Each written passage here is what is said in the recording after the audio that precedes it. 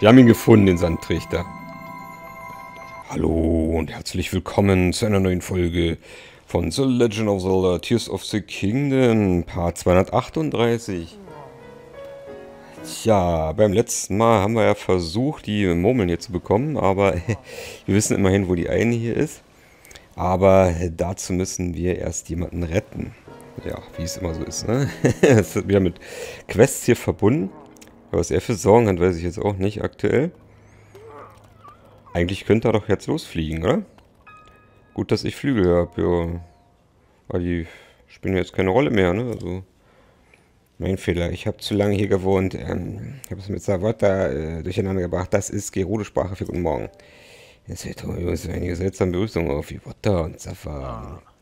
Da der Sandsturm jetzt verschwunden ist, haben wir eine klare Sicht auf alles um uns herum. Jetzt sollte es selbst für die flügellosen Indianer sicher sein, die Wüste zu durchqueren. Und was mich betrifft, die Oase ist mir ans Herz gewachsen. Also werde ich sie von nun an mein Zuhause nennen, meine Familie hierher holen. Familie? Meine Frau führt einen Krämerladen im Dorf der Orni. Ich werde nicht angeben, aber sie ist von allen Orni die schönste. Unser Sohn führt auch einen Laden in irgendeinem Dorf, aber ich weiß nichts Genaues darüber. Ich habe gehört, dass es ein junges Dorf ist, das erst kürzlich im Nordosten von Hyrule entstanden ist. Oh, okay. Das hört sich interessant an. Sind beides beschäftigt, also dauert es vielleicht noch eine Weile länger, bis wir alle zusammenleben können. Aber ich möchte trotzdem gern hier bleiben und mir hier ein mein Nest bauen. Lebe vor, äh, alte Heimat. Oh, mein Fehler, ich habe Lebewohl und Zavork durcheinander gebracht. Das ist Gerudo-Sprache für Lebewohl. Juhu, was Neues hat er auch nicht für uns. Ähm, ja, okay. Und dann möchte ich mich natürlich noch einem Schrein widmen, ne? denn wir haben ja hier wieder mehrere gefunden. Ähm, ach, da waren die, genau. Im Westen soll das ja sein. Ne? Wo ist hier der Westen? Wie war das mit Himmelsrichtung? Das müsste ja da sein, ne? Da ist Westen bei mir. Oder im Westen, ne? Ich spreche nochmal kurz mit denen. Keine Spur von Pontos. Bin mir ziemlich sicher, dass ich gesehen habe, wie der Richtung Westen gerannt ist, in die Wüste. Ausgerechnet nach Westen. Und auch die Wüste dort für ihre Treibsandtrichter. Genau, ich muss los. Treibsandtrichter, genau. Ja, Westen. Ja, das ist wieder Westen. Stimmt, das passt. Also die gucken schon in die richtige Richtung, aber wir haben noch keinen Treibsandtrichter gefunden, ne?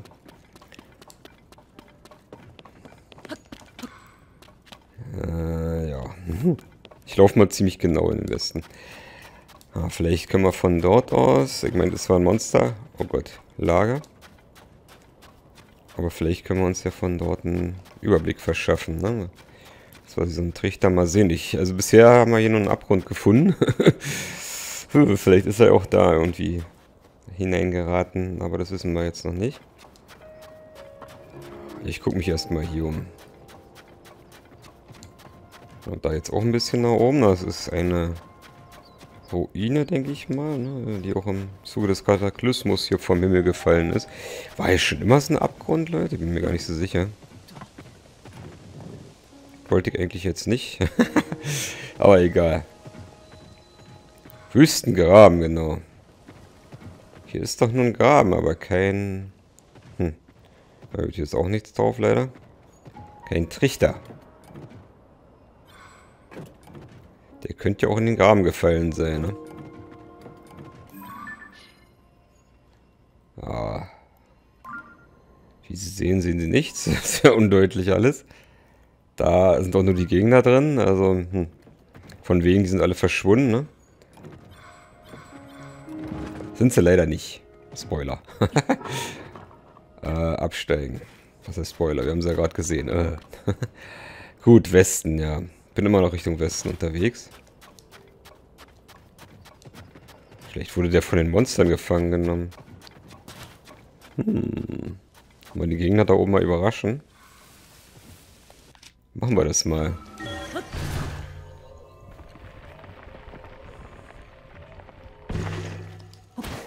Ja, und ich denke nach wie vor dran. ja, er war wirklich überrascht. Oh Gott, der hält aber aus. Der ist ein bisschen gepanzert, der Gute.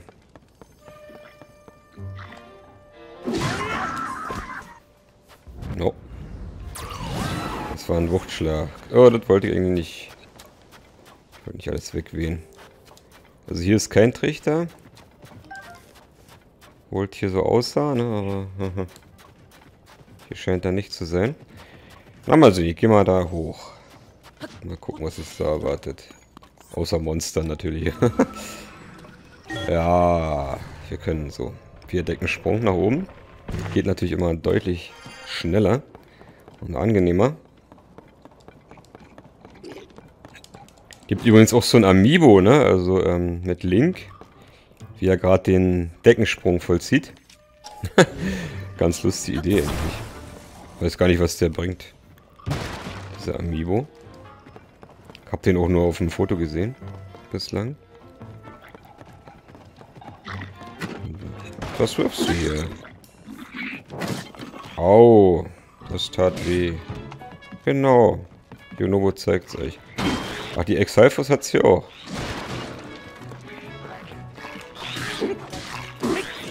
Oh, und auch sehr stark. Ja, wir schießen die erstmal alle runter. irgendwie lustig. Äh, irgendwie auch nutzlos. Wie man sieht. Aber gut, vielleicht haben wir ja hier einen Blick auf die Landschaft. Also das haben wir sowieso, aber dass wir jetzt ein bisschen Trichter mal sehen können hier.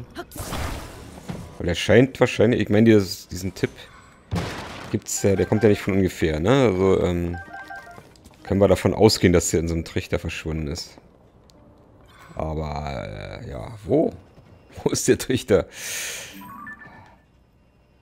Da habe ich was markiert. Achso, da ist ein Schrein wahrscheinlich. Da weht auch noch so ein Wind manchmal, ne? Gut, ganz windfrei wird es hier nie sein. Da waren wir doch auch, ne? Da war der Kühlschrank, genau. Genau, da waren wir beim letzten Mal. Da haben wir auch jemandem geholfen. Äh, aber ja, uns konnte leider keiner helfen, ja. Hinsichtlich eines Trichters. Hier ist, Leute, hier ist doch kein Trichter. Wo soll denn hier ein Trichter sein?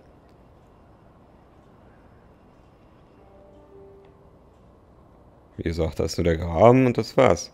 Ja, wir sind jetzt auch schon relativ weit wieder weg von der Oase. Also glaube ich nicht, dass hier irgendwo ein Trichter sein soll. Hm, hm, hm.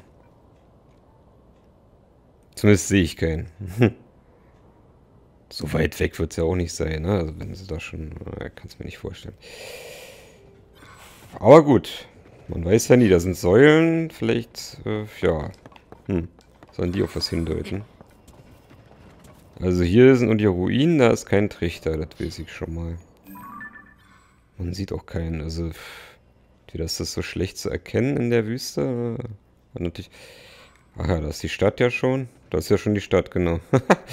ja. Hier sind noch Monster. Nester, aber mir auch nicht. Und halt dieser Graben. Vielleicht ist das in dem Graben, Leute. Vielleicht muss ich mich doch mal in dem Graben näher umsehen dass der dort entschwunden ist, reingefallen ist oder so. Hm. Oder die haben ihre Informationen noch nie aktualisiert. dass da vielleicht vorher ein Trichter war und jetzt halt ein Graben. Ja, äh, gut, dann gehen wir da halt mal hin. Schauen wir uns da mal um. Also mit Junobos Hilfe sind wir da auch diesen komischen Monstern gewachsen, ne? Diesen Gyptos oder wie die heißen. Ja, Wüstengraben, ja. Da wird vielleicht auch ein Schrein drin sein. Ne? Wir wollen ja eh alle Schreine machen, also von daher kommen wir da eh nicht drum herum. Moment, Moment. Das sieht ja interessant aus. Hier will, möchte ich mich schon gerne mal umsehen erstmal. Ja, hier ist nämlich auch was Interessantes. Oh, Fragezeichen. Sogar eine Truhe. das hat sich gelohnt, ja. Oh, Königshellebade. Was schmeißen wir denn raus? Das stattdessen. Oh, da können wir eigentlich alle draus schmeißen stattdessen. Nein, nicht alles, aber die ist sehr stark. Moment. Ne, das wollte ich jetzt nicht. Ja, ich will die ja nehmen. Ja, erstmal mal wieder an die Steuerung gewöhnen. Bin jetzt in letzter Zeit mit Diablo 4 beschäftigt, so ein bisschen. Ne? Da habe ich mich auseinandergesetzt. ja, äh, weil ich eh noch einen Game Pass hatte, also einen Game Pass Code und der gilt ein halbes Jahr und ähm, möchte natürlich auch Lies of P erstmal weiter zocken, also zu Ende zocken. Da ist ja nicht mehr so viel. Bis auf ein paar knallharte Bosskämpfe, die ja noch wohl kommen. Und der letzte war schon relativ happig. Aber klar, möchte ich natürlich noch zu Ende zocken. Werde ich auch wieder Videos dazu veröffentlichen, zu den Bosskämpfen natürlich. Äh, da habe ich ja kein Let's Play gemacht. Und natürlich dasselbe auch gilt auch für Lords of the Fallen. Da kann ich mir, könnte ich mir rein theoretisch ein bisschen mehr Zeit lassen, aber gut, da ist auch jetzt lange kein Video mehr gekommen. Da gibt es ja auch nur noch den einen oder anderen Boss, also da gibt es auch nicht mehr so viele Bosskämpfe, die da folgen. Vielleicht noch ein oder zwei, vermute ich mal jetzt so. Die machen so komische Geräusche, wa? Haben die immer schon so Geräusche gemacht? Auf jeden Fall kann ich hier Yonobo sehr gut gebrauchen gegen die, weil die sind sehr feuerempfindlich. Oh, jetzt haben die sich aufgelöst, die schön. Genau, dann sind sie halt anfällig, ne? Wenn sie so komisch am Boden liegen und so eine graue Farbe angenommen haben, dann kann man sie ganz leicht besiegen, ne? Ja, nur Junovo rennt mal wieder vorne weg. Oh, hier sind zwei. Kann ich die beide gleichzeitig erwischen? Ja. Jetzt kann er drauf einschlagen.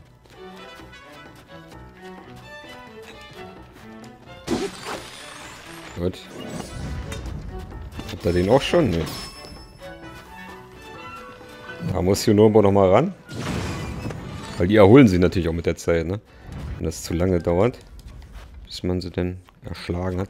Nehmen, was war da noch zum Nehmen? Ach so, ein Reiseschwert. Moment, kann ich das an die Lanze basteln? Weil ich glaube, die Lanze ist schon eine Kombiwaffe, wa? oder? Oder, oder, oder? Na, wir werden es gleich wissen. Nein! Sehr schön. Eine verstärkte Lanze haben wir jetzt damit. Ne? Man kann die natürlich auch verlängern, ne? klar, mit einer anderen Lanze kombinieren. Aber, ja, nein. so, hier sind auch irgendwelche Ruinen. Das sieht ja auch sehr geheimnisvoll aus. Ah, die sollte ich mir auch mal näher ansehen, ja. Tja, es gibt so viel zu spielen, also das ist Wahnsinn, ne? Ich habe mir dann noch Outlast und Alone in the Dark.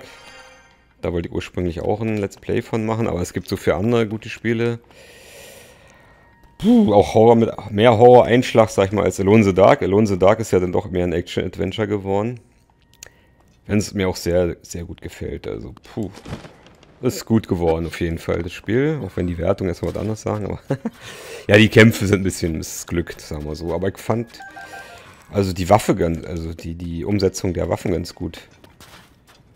Also sie haben ordentlichen Durchschlag. Da hat man wirklich den Eindruck, ja, man, man feuert eine Handfeuerwaffe ab, die ein bisschen Wumms hat, ne? also das haben sie, finde ich, das Waffengefühl haben sie gut umgesetzt. Wenn auch die Gegner und die Kämpfe per se jetzt nicht so geil sind, aber sind sie ja in vielen Spielen nicht. Also in Resident Evil 4, ja, Remake, da haben sie es so gemacht, wie man es machen sollte. Das stimmt, das ist natürlich deutlich besser. Oh, hier geht's rein, oder? Ist das eine Höhle? Nee. Hier ist schon wieder in dem Gelände.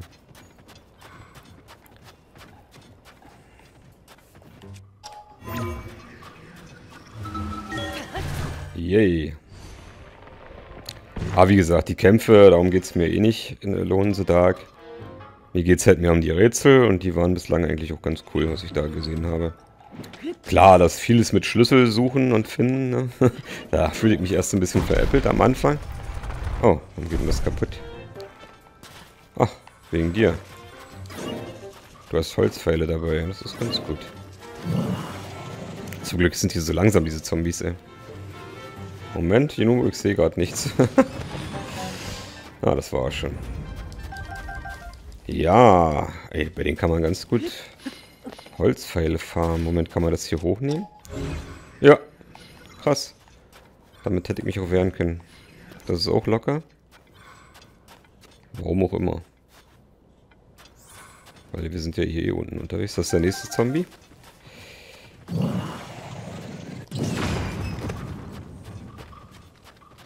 Na los, schlag dra drauf ein. Auf das Vieh. Nicht so schüchtern. Ran an den Speck. Ja, ich glaub's ja wohl. Ja, in der Zeit hat er sich natürlich wieder zurückverwandelt. Ja. Sprich, ist nicht mehr anfällig, ne? Ja, also Diablo 4, klar. Da habe ich natürlich damals schon so das ein oder andere Artikelchen dazu gelesen und so, ne? Und äh, auch Videos dazu gesehen. Und da war für mich relativ zeitig klar, sage ich mal, dass ich es mir nicht holen werde, weil es eben diese, diesen Shared World Aspekt, Aspekt hat. Ne? Also erstmal diese Online-Geschichte und das auch noch auf Konsolen, ja, sonst hätte ich, wäre ich, wär ich wahrscheinlich ausgewichen auf die Konsole. Habe ich ja damals bei Diablo 3 ähnlich gemacht, ne? Aber jetzt kam eben noch dieser Shared World Aspekt dazu, dass die Welt geteilt ist, sozusagen, oder man sich die Welt teilt, so. die ist ja nicht geteilt, in dem Sinne. Und dass da eben andere Spieler rumrennen, da war halt meine Befürchtung, ja, das schadet ganz schön der Immersion, also mit dem Online-Zwang, gut, da hätte ich mich jetzt noch halbwegs angefreundet. Weil, äh, welches Spiel hat keinen Online-Zwang heutzutage? Ne? Die haben alle mehr oder weniger Online-Zwang. Selbst die äh, Spiele, die über Steam erscheinen, viele.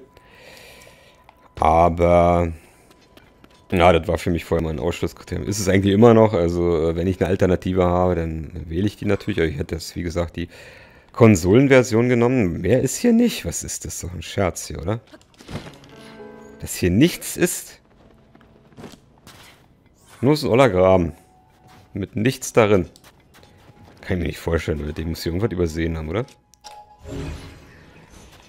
Ja, genau, das hat mich gestört und jetzt ist halt das Spiel im Game Pass, also Diablo 4. Und damit habe ich gleich die Gelegenheit beim Schopfe gepackt und dachte mir, oh, lädst du es dir einfach mal runter, für PC allerdings, ne? Logisch, denn wenn schon, denn schon möchte man auch die beste Grafikqualität haben, wenn es sonst auf der Konsole auch eh keine Vorteile gibt, ne? Sprich, äh, kein Online-Zwang, wie bei Diablo 3, da gibt es auf Konsole keinen Online-Zwang. Ist auch meines Erachtens nach bei einem vorrangig Singleplayer-Game eigentlich überflüssig. Also wenn, dann kann man es doch so machen wie bei Elden Ring. Elden Ring hat es doch super gelöst. Also wenn man online spielen will, ja, go for it. Wenn nicht, dann lässt man es sein. Ne? Ganz einfach. Es gibt etliche Leute, die das nicht gerne mögen, diese PvP-Geschichte oder Koop, die gerne erstmal alles alleine erkunden und so. Also ich mache eigentlich beides ganz gerne in Elden Ring. Ich mache auch sehr gerne im Koop. PvP, ja. Dann und wann auch schon mal gerne, aber habe ich bisher noch gar nicht gemacht. Stimmt. Fällt mir gerade mal ein. In Ellenring, überhaupt nicht. Kein PvP bislang.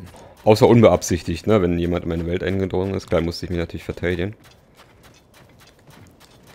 Und hatte da mit mehr oder weniger Glück. Ja, mal gewinnt man halt, mal verliert man, ne? Das ist halt so. Moment, hier höre ich jetzt auch wieder irgendwas. Aber ich glaube, es ist nur der Wind, ne? Ja, war nur Wind. Ah, und ein Fossil haben wir hier. War da nicht auch? Da war da irgendeine Quest mit einem Fossil, oder? Aber die greift hier nicht. Nee. oh, da ist auch eine Arena, wa? Ach du Scheiße, Leute, hier ist eine Arena. Oder? Nee. Könnte sein. Gucken wir mal. So, hier wird wahrscheinlich eh nichts drauf sein wieder. Toller Graben, ey. Oh, da ist ein Schrein. Ah, den direkt markiert anscheinend, ne? Nee, den habe ich nicht markiert. Ach, nur den. Markieren wir doch den.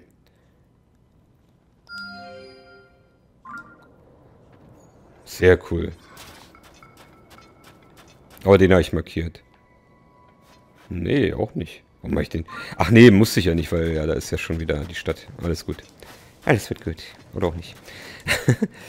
ja, genau, äh, genau. Worauf wollte ich jetzt eigentlich hinaus mit Diablo 4? Dass es doch ganz gut gelöst war. Also man ist quasi, also in den Dungeons, hatte ich zumindest bislang den Eindruck, ist man alleine unterwegs. Und äh, dieser Shared World Aspekt, Aspekt äh, betrifft eigentlich nur die, die sonstige Welt, also oder Städte halt. wenn man in der Stadt unterwegs ist, dann sieht man ab und zu mal andere Spieler. Aber äh, es stört jetzt auch nicht so wahnsinnig. Klar, ich verstehe immer noch die, nicht den Sinn dahinter. Also man könnte vielleicht mit einer anderen, ja, man kann die auch anquatschen irgendwie, also indem man die E-Taste drückt und so. Anscheinend kann man mit denen chatten auch. Habe ich bislang noch nicht gemacht. Warum auch? Mir geht es ja um das Einzelspielererlebnis in erster Linie bei Diablo. Und das kann man auch so machen. Ne? Also man kann wirklich diesen Multiplayer-Aspekt gänzlich außen vor lassen und trotzdem das Spiel genießen. Das geht ganz gut. Wie gesagt, nur in der Open World rennen da ab und zu mal irgendwelche anderen Spieler rum und die helfen einem auch, also bei bestimmten Quests so, ne? also wenn da größere Ereignisse sind in der Welt. dann sind da häufig eben auch menschliche Spieler dabei. Also es fühlt sich irgendwie ganz organisch an. Also irgendwie haben sie es ganz gut hinbekommen, finde ich. Also man muss es halt mal ausprobiert haben, ne? Und ja, dieses, ich meine, dieses typische Diablo-Ding, das erlebt man natürlich sofort wieder. Ne? Da man ist sofort wieder mittendrin in diesem Loot, in dieser Loot-Spirale und Verbesserungsspirale und so. Diese Sucht, die greift natürlich wieder sofort, ne? Also hier haben wir immer einen Krog. Oh, eine Rakete haben wir hier auch. Warum?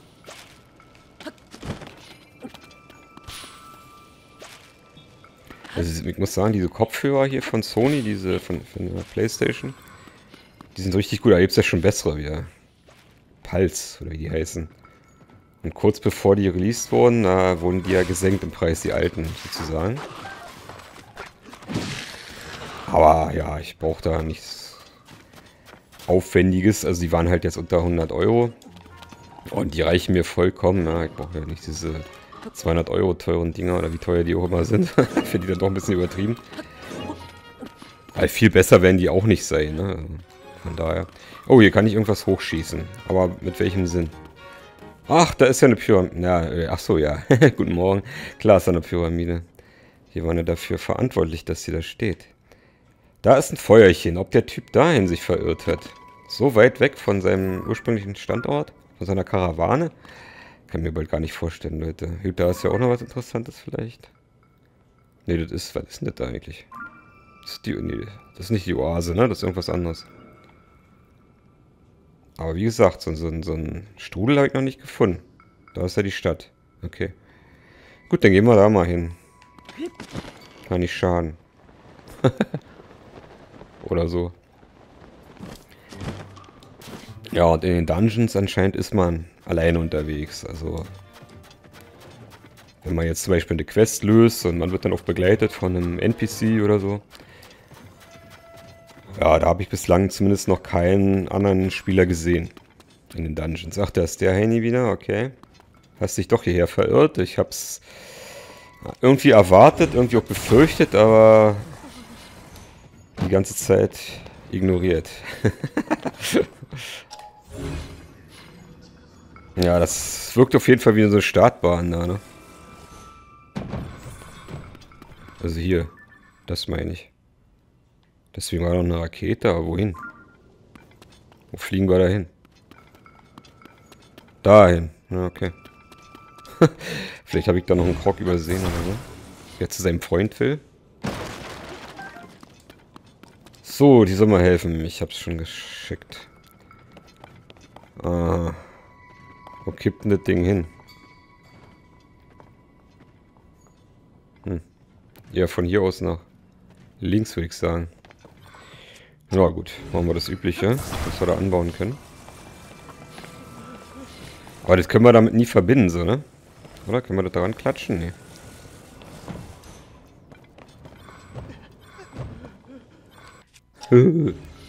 Aber er lässt nicht los.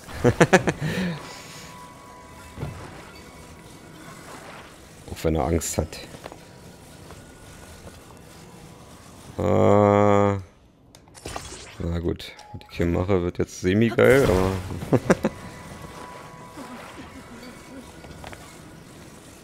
hm.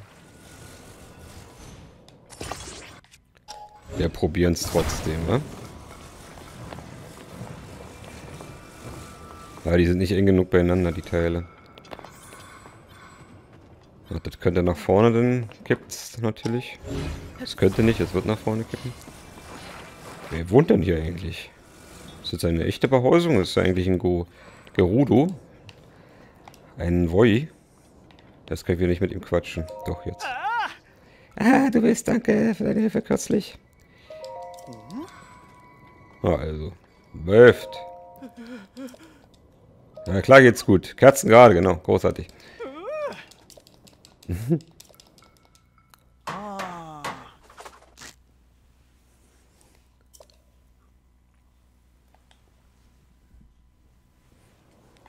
Sehr schön, alles fertig.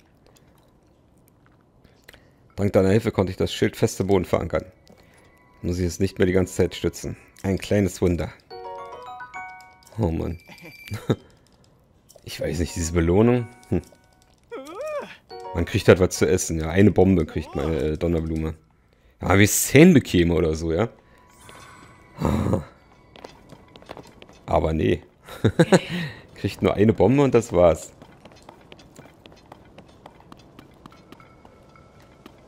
Hier ein Strudel. Hast du einen Strudel gesehen? Man kann ihn ja nicht mal befragen. Er hat ja nicht mal nützliche Informationen für ihn, ja? Oh. Ach du Scheiße, du bist es. Alter, das vibriert bis hierher. Also das Pad. hat da vibriert. Obwohl das Vieh so weit noch weg ist. Der Moldova oder keine Ahnung. Bring da immer die Vokale durcheinander. Geht's hier auf? Ja. Anscheinend. Das ist schön. Oh, was haben wir denn hier für Information? Ausguck Gerudo Wüste. Ah, Wachtagebuch. Ah, vielleicht steht da was. Aufschlussreiches. In der Wüste geht es schon eine ganze Zeit lang überaus friedlich zu. Weder Monster noch Banditen stiften Unruhe. Äh, hat derjenige überhaupt irgendwas gemacht? ich glaube, der hat nicht wirklich ausgeguckt. Natürlich sollte mich das freuen, doch es ist meine Pflicht, hier nach beunruhigenden Zeichen Ausschau zu halten. Solange Frieden herrscht, ist mein ach so bedeutender Dienst auf diesem Posten vor allem eines, äußerst langweilig. Wenn er dieser Ausguck hat, seinen Zweck erfüllt, soll nun geschlossen werden. Erst fürchtete ich ja, es wäre wegen Mangel an Wachsamkeit meinerseits gewesen, doch daran lag es gar nicht. Beim Wüstenbasar soll ein Leuchtturm entstehen, der die Verständigung mit der Stadt erleichtern soll. Und um zwei Flederbeißer mit einer Klappe zu schlagen, soll dieser zugleich als Wachposten gegen Monster dienen. Das Licht des neuen Turms sollte man sogar bei schlimmsten Sandstürmen aus der Ferne erkennen können. Sollte uns also mal urplötzlich ein übler Sandsturm erwischen, weiß man trotzdem immer, wo es zum Wüstenbasar geht. Mit diesem Plan werden sicher unzählige Leben gerettet. Eine wunderbare Idee. Ich freue mich wirklich sehr darüber. Wetter. Heute ist mein letzter Arbeitstag auf dem Ausguck. Und natürlich fällt der Abschied doch irgendwie schwer. Ich soll in Zukunft Leiterin eines Übungsareals werden, das gerade an der Oase im Süden entsteht. Hm. Das ist eine gewaltige Ehre. Durch das Schulen der Soldaten trage ich mehr zu unserer Sicherheit bei als je zuvor. All das Wissen über die Wüste, das ich mir in meinem langen Wachdienst angeeignet habe, wird mir sehr von Nutzen sein. Aufhören. Also auch nichts Aufschlussreiches. Total uninteressant. Oh, ich kann nicht schlafen. Hm. Mich heilen. Ja, machen wir das mal bis morgens. Gratis Heilung ist doch immer herzlich willkommen, ne? Würde ich mal sagen. Was sagt denn die Zeit? Oh Gott. schon fast wieder um. Hat doch lange gedauert, die Ladezeit. Aber geheilt wurden auf jeden Fall. Ja gut. Ist halt ein verlassener Ausguck. Was soll ich euch sagen, Leute? Ausgerechnet hier stellt er sein Schild hin. Macht das Sinn? Ja, für ihn wahrscheinlich schon. naja, dann nutzen wir den doch gleich, ne? Den Ausguck. In der Hoffnung, dass er uns was nutzt. Hm. Hm.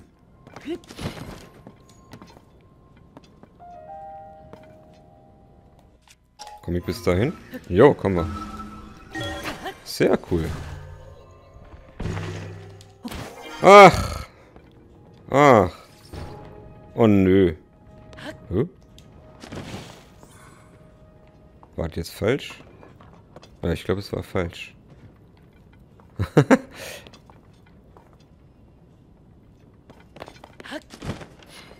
Och, nicht doch. Ja, jetzt fliegt er wieder nach unten.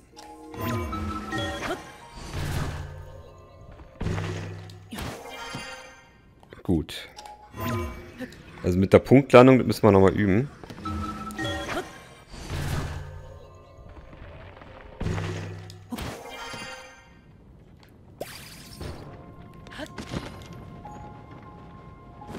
Oder ein Zeitlimit? Nö. Nö. Musst du treffen. Okay. Eigentlich wollte ich ja noch einen Schrein in dieser Folge machen, aber daraus wird wohl nichts. Daraus wird wohl nichts. Ne? Ja, wo ist denn hier Achso. Also höher geht's nicht, oder? Doch, das geht noch höher. Klar. Klar, das war nur... Hm. Ich weiß nicht, warum man nicht da drauf landen kann. Ah, ich und die Steuerung. Wir sind keine Freunde, ne? Merkt man immer wieder. Und werden es auch nicht mehr.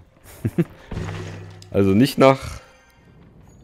Wenn wir das bis jetzt noch nicht wurden, ne? Nach 238, was waren das jetzt? Ja, 238 Folgen, dann äh, wird das wahrscheinlich in diesem Leben auch nicht mehr, nicht mehr passieren.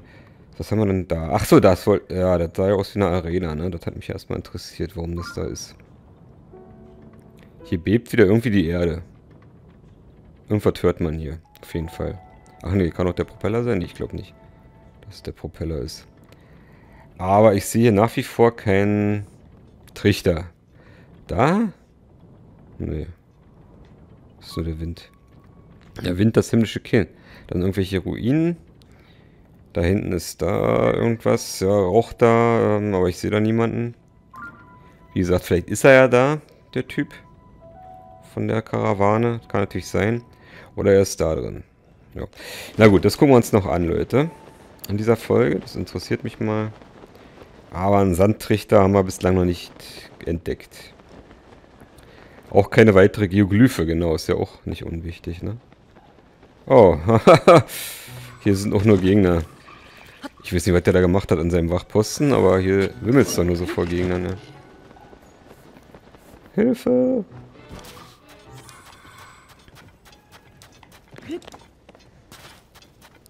Also sonderlich aufmerksam kann er nicht gewesen sein.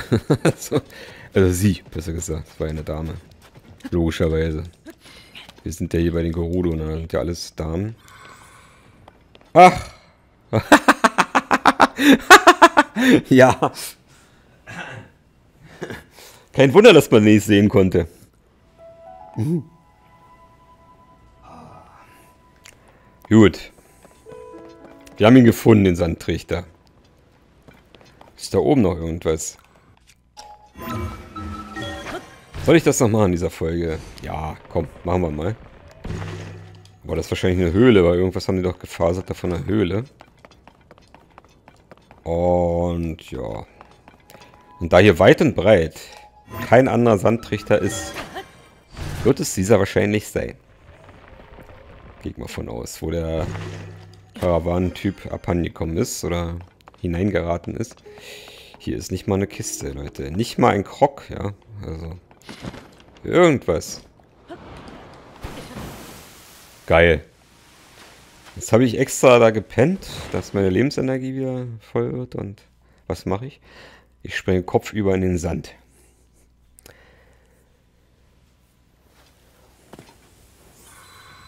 Entdeckt. Treibsand Höhlensee. Ach du Scheiße. Erinnert mich so ein bisschen an den Fäulnissee in Eldenring gerade. Warum auch immer. Sehr kurios, Leute. Ich denke mal, hier wird der Typ vielleicht sein. Also hoffen wir mal. Ja, die haben ja wie gesagt was. Ach, da ist auch der... Ein Majoi. Ist das ein Majoi? Ja, bestimmt. So, so ist halt der rote Augen. Ich habe die mir noch nie so genau angesehen. Die waren immer so schnell weg.